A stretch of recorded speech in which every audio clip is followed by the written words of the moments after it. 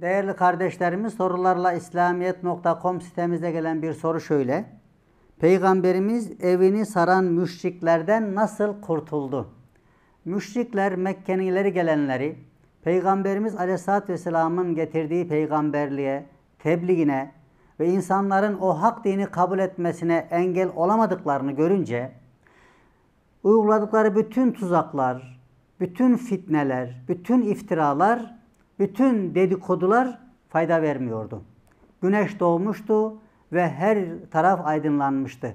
Öyleyse bu güneşin aydınlığını engelleyemeyeceklerine göre güneşi ortadan kaldırmalarından başka kendileri açısından bir çözüm kalmamıştı.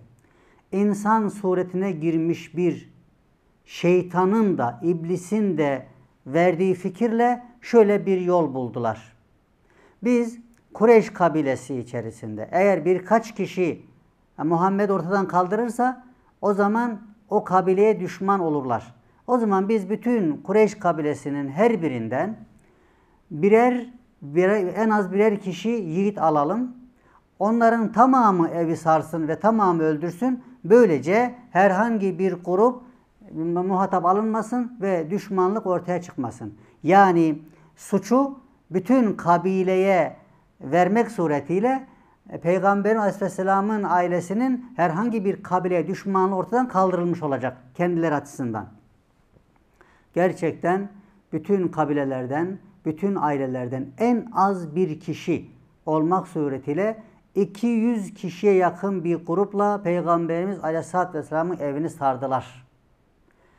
Ve Peygamber Aleyhisselam'ın hayatını ortadan kaldırmak üzere bir tedbir, bir tuzak kurdular. Peygamberimiz Aleyhisselatü Vesselam onların gelmesine kadar bekledi mübarek evlerinde.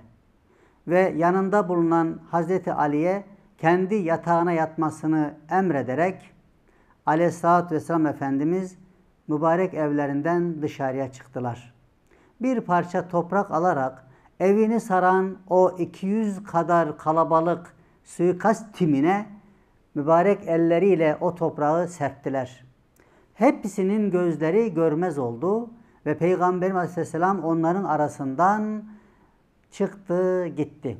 Allahu Teala Peygamberimiz Aleyhisselatü Vesselam'ı o tuzaktan, o hileden, o suikastten muhafaza etmiş ve bir toprağı bahane ederek, vesile kılarak onların görmeden peygamberin aradan geçmelerini sağlamıştır. Bu durum Peygamberimiz Aleyhisselatü Vesselam'ın bir mucizesi olmakla beraber hem içinde bulunduğu zor durumdan Allahu Teala'nın kurtarması bir ikram ve ihsanıdır. Hem de Peygamberimiz Aleyhisselam'ın evini kuşatan o suikast timindeki insanlara da imana gelmeleri konusunda Allahu Teala'nın bir uyarısı ve ikazıdır. Aslında bir açıdan onlar için de bir nimettir. Belki bu hali görerek Peygamberimiz Aleyhisselatü Vesselam'ın peygamberliğine iman edenler olacaktır. O açıdan da ayrı bir nimettir. Demek ki bizler Müslümanlar olarak Peygamberimiz Aleyhisselatü Vesselam'ın mazhar olduğu her mucizeyi öğrendikçe Peygamberimiz olan imanımız, Allah'a olan güvenimiz artıyor. Ama aynı zamanda bizler elimizden gelen maddi ve manevi imkanları kullandıktan sonra tevekkeltu alallah diyerek işimize bakacağız. Tereddüt, telaş veya herhangi bir ümitsizlik asla Müslümanın aleminde olmamalı. Ben Allahu Teala'nın bana verdiği imkanlar nispetinde maddi ve manevi imkanları, fırsatları kullanırım meşru ve helal yollarla. Ondan sonra işime bakarım. Bu arada Rabbim dilerse beni korur, muhafaza eder ve o tuzaklardan beni kurtarır.